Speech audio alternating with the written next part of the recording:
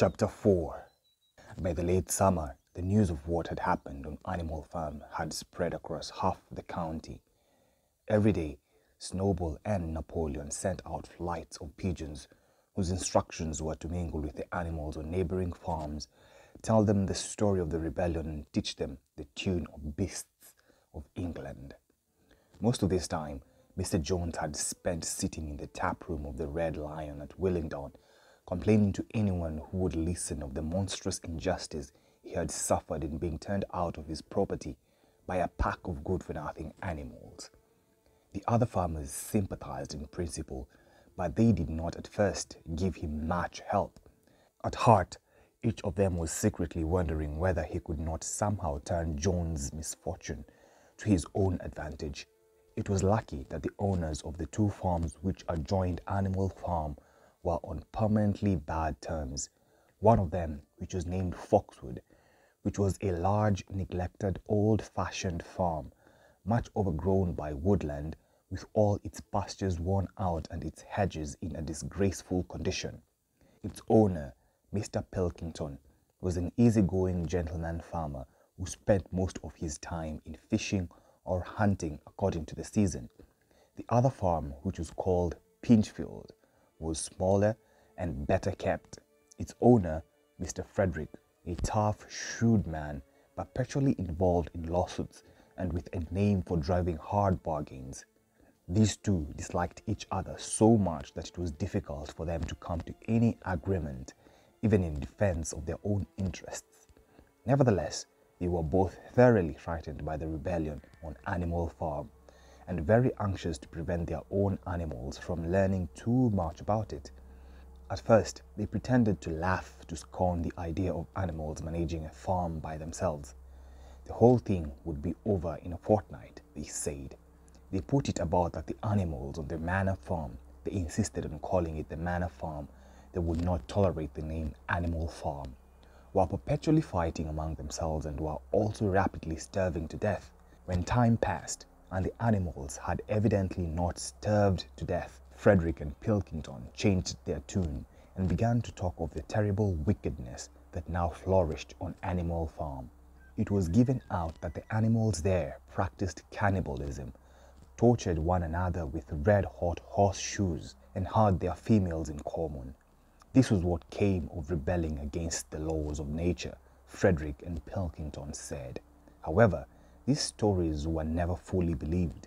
Rumors of a wonderful farm where the human beings had been turned out and the animals managed their own affairs continued to circulate in vague and distorted forms, and throughout that year a wave of rebelliousness ran through the countryside. Bulls, which had always been tractable, suddenly turned savage. Sheep broke down hedges and devoured the clover. Cows kicked the pail over. Hunters refused their fences and shot their riders on to the other side. Above all, the tune and even the words of beasts of England were known everywhere.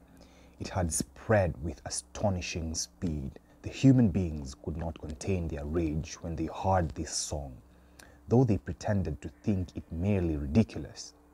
They could not understand, they said, how even animals could bring themselves to such contemptible rubbish. Any animal caught singing it was given a flogging on the spot, and yet the song was irrepressible.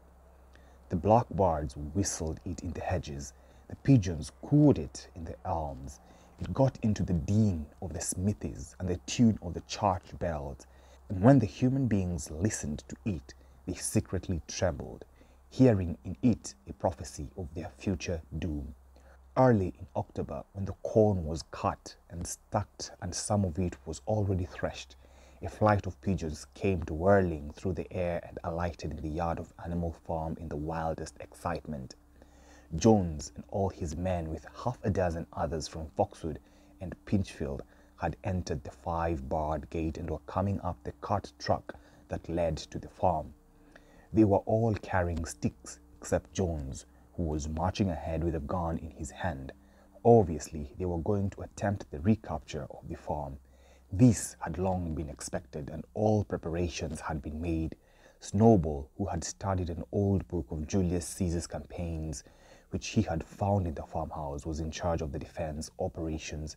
He gave his orders quickly, and in a couple of minutes, every animal was at his post. As the human beings approached the farm buildings, Snowball launched his first attack. All the pigeons, to the number of 35, flew to and fro over the men's heads, muted upon them from mid-air, and while the men were dealing with these, the geese who had been hiding behind the hedge rushed out and pecked viciously at the calves of their legs. However, this was only a light skirmishing maneuver intending to create a little disorder, and the men easily drove the geese off with their sticks. Snowball now launched his second line of attack.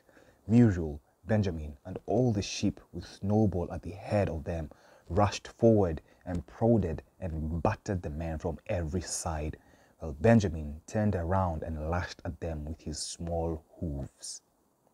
But once again, the men with their sticks and their horn-baled boots were too strong for them, and suddenly a squeal from Snowball, which was the signal for retreat, all the animals turned and fled through the gates into the yard. The men gave a shout of triumph. They saw, as they imagined, their animals in flight, and they rushed after them in disorder. This was just what Snowball had intended. As soon as they were well inside the yard, the three horses, the three cows, and the rest of the pigs, who had been lying in ambush in the cowshed, suddenly emerged in their rear, cutting them off. Snowball now gave the signal for the charge. He himself dashed straight for Jones. Jones saw him coming, raised his gun, and fired. The pellets scored bloody streaks along Snowball's back, and a sheep dropped dead. Without halting for an instant, Snowball flung his 15 stone against Jones' legs. Jones was hurled into a pile of dung and his gun flew out of his hands. But the most terrifying spectacle of all was Boxer rearing up his hind legs and striking out with his great iron-shod hooves like a stallion. His very fast blow took a stable lad from Foxwood on the skull and stretched him lifeless in the mud. At the sight, several men dropped their sticks and tried to run. Panic overtook them, and the next moment all the animals together were chasing them round and round the yard. They were gored, kicked, beaten, trampled on. There was not an animal on the farm who did not take vengeance on them after his own fashion. Even the cat suddenly leapt off a roof onto a cowman's shoulders and sank her claws in his neck, at which he yelled horribly. At a moment when the opening was clear, the men were glad enough to rush out of the yard and make a bolt for the main road. And so, within five minutes of their invasion, they were in ignominious retreat by the same way they had come, with a flock of geese hissing after them and pecking at their calves all the way. All the men were gone except one.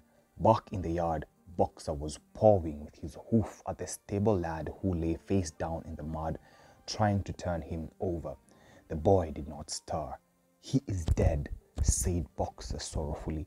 I had no intention of doing that. I forgot that I was wearing iron shoes who will believe that I did not do this on purpose? No sentimentality, comrade, cried Snowball, from whose wounds the blood was still dripping. War is war. The only good human being is a dead one. I have no wish to take life, not even human life, repeated Boxer, and his eyes were full of tears. Where is Mollie? exclaimed everybody. Mollie, in fact, was missing. For a moment, there was great alarm. It was feared that the men might have harmed her in some way, or even carried her off with them.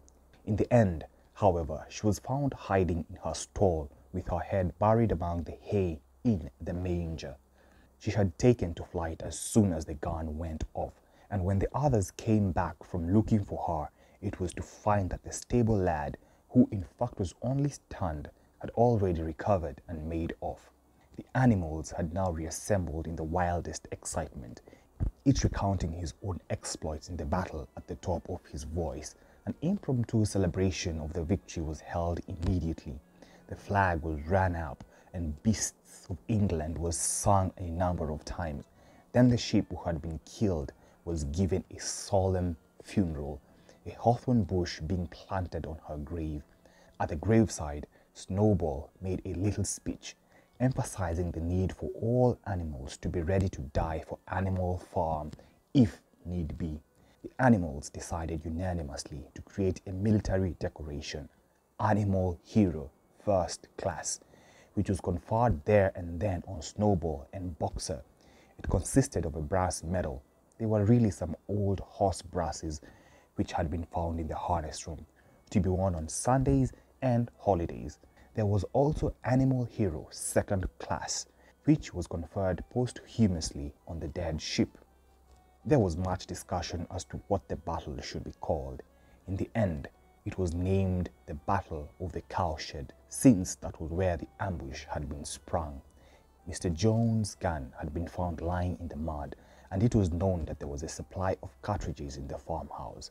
It was decided to set the gun up at the foot of the flagstaff like a piece of artillery and to fire it twice a year, once on October the 12th, the anniversary of the Battle of the Cowshed, and once Midsummer Day, the anniversary of the rebellion. End of chapter 4.